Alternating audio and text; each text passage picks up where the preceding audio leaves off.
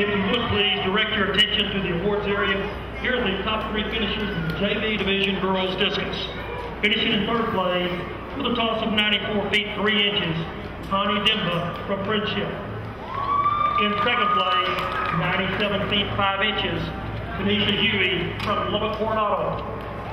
And finishing in first place, 97 feet 8 inches, Rihanna Ringbone.